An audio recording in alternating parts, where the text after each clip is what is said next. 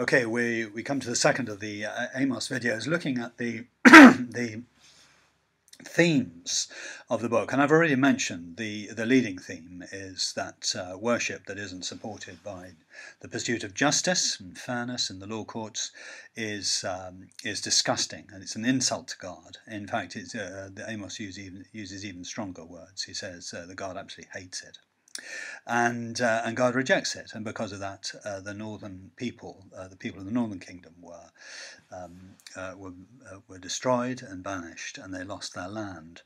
Um, the you uh, see this in the New Testament, um, in John's.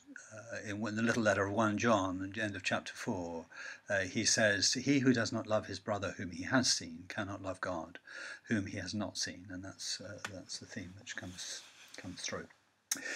Uh, this leads directly to uh, another crucial point, which is that the ethical commands and imperatives of God are universal and they apply equally to all nations. And so, consequently, uh, God's people in the northern kingdom, because they would not be example to an example of what uh, of how to live to the other nations around them, they became uh, uh, an example of God's of God's judgment, um, and that is absolutely what happened, and and there is a sobering um, uh, warning uh, in that for us. Now, this takes us to the, uh, the question of how we engage with this book. Uh, Amos uh, is a delightful book, but it is actually quite hard to get into it.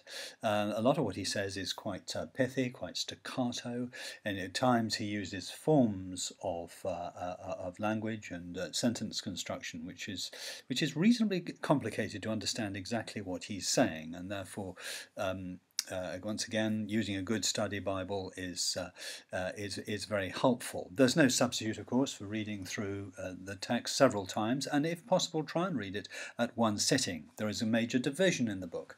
The first ch six chapters are all about the, the messages of judgment, and uh, the last three chapters are the visions of judgment. You might want to compare and contrast, particularly study the way that um, uh, the, the, the, the, the, pictures at the beginning of chapter 7. It's very interesting. It's almost like Amos Amos is growing in the in his prophetic uh, ministry, and of course, along with that goes this uh, ministry of intercession, because uh, Amos really intercedes the, so that, for the people. He didn't like giving this message. He intercedes for them so that they will be um, they will be protected from God's uh, God's decision. But finally, it's like a, a wall that's about to topple, and Amos realizes that, uh, uh, that, that this is going to fall. It's a question of when, not if, and that's the picture, the, the the plumb line picture, the, the third little picture there. Um, you need to look at your maps on this one. Uh, this is uh, Amos is going to make sense if you study the maps. Uh, get to the appropriate map at the back of the Bible and study it, and see where Dan and Beersheba and Gilgal and Bethel are, and look at the northern kingdom and, and the difference um, where it is and where the boundaries are and just familiarize yourselves uh, with that. It makes a lot of sense uh, doing that. Look through the pod questions and then think about the situation in the world today, which, of course, the disparity between the rich and poor is a good deal more severe now than it was then. And uh, the wealth of the rich nations is massive, and the poverty of the less developed nations is, uh, is in serious contrast. And we Christians need to listen to that.